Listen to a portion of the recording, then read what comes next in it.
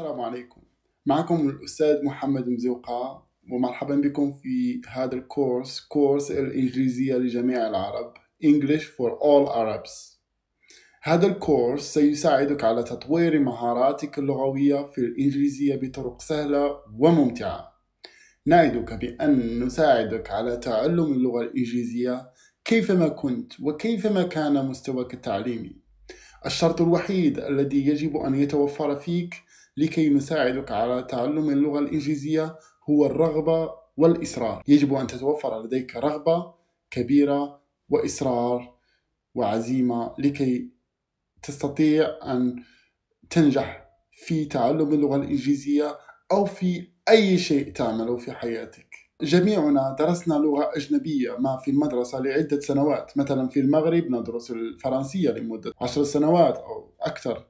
ومع ذلك فمعظم الناس الذين أعرفهم okay هم لا زالوا لا يتقنون اللغة الفرنسية. وكذلك بالنسبة للغة الإنجليزية فيدرسونها لمدة لسنوات عديدة لكن لا يتقنونها لا يتكلمون باللغة الإنجليزية. إذا فهذا مشكل okay. ندرس لغة لغة أجنبية مثلا كاللغة الفرنسية أو اللغة الإنجليزية ولا نتقنها. مع تراكم هذه التجارب تصبح لدينا فكرة سلبية عن تعلم اللغات بصفة عامة وأنه مهما حاولنا فإننا لن نتمكن من تعلم اللغة مثلا اللغة الإنجليزية لأن لأننا ببساطة حاولنا من قبل ولكننا لم ننجح. اذا فعقلك اللاواعي يحبطك ويجعلك تتوقف. أوكي. اذا فأنا أستدعيك لأن تتحدى هذه البرمجة التي برمجت عليها من قبل وتخوض معي هذه هذا الجورني أو هذا كما يقولون هذا هذه الرحلة أوكي؟ إلى تعلم اللغة الإنجليزية في كورس الإنجليزية لجميع العرب. إذا فجميعنا كما قلت درسنا لغة أجنبية ما في المدرسة لعدة سنوات لكن عدد فقط عدد قليل منا من استطاع أن يتعلم تلك اللغة الأجنبية. فلماذا تفشل معظم هذه المناهج الأكاديمية في تعليم اللغات إذا لماذا؟ سأقول لكم السبب وهو جد بسيط والسبب هو أن اللغة لا تدرس ولكنها تكتسب. فهذا واحد من بين أهم العوامل لماذا لا تكتسب اللغة لأنها هي لا تدرس هي ليست كباقي المواد. اللغة تكتسب.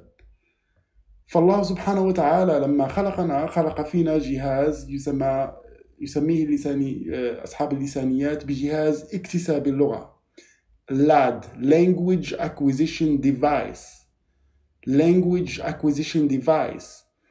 فالإنسان يولد جاهز وقادر على تعلم أي لغة كيفما كانت. لأن الله سبحانه وتعالى زوده بهذه اللاد. جهاز اكتساب اللغة.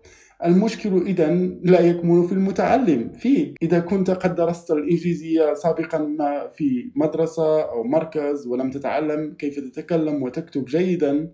فاعلم أن المشكلة لم يكن فيك أبدا ما دامت لك الرغبة في تعلم اللغة الإنجليزية. المشكل كان في الطريقة التي حاولوا أن يعلموك بها الإنجليزية. فهي لم تكن مناسبة لجهاز اكتساب اللغة لديك. لهذا فكل ما تعلمته في المدرسة هو حفظ بعض القواعد والكلمات الأكاديمية التي نادرا ما تستعمل. يعني تدرس past perfect present perfect past perfect continuous. هذه كلها دروس نادرا ما تستعمل. فعلى خلاف ذلك الطريقة التي سنتعلم بها في هذا الكورس كورس الإنجليزية لجميع العرب فهي تعتمد على مناهج تتناسب مع جهاز اكتساب اللغة لديك الذي زودك به الله سبحانه وتعالى. وكل ما يجب عليك فعله هو تتبع التعليمات وإنجاز التمارين التي ستجدها في هذا الكورس.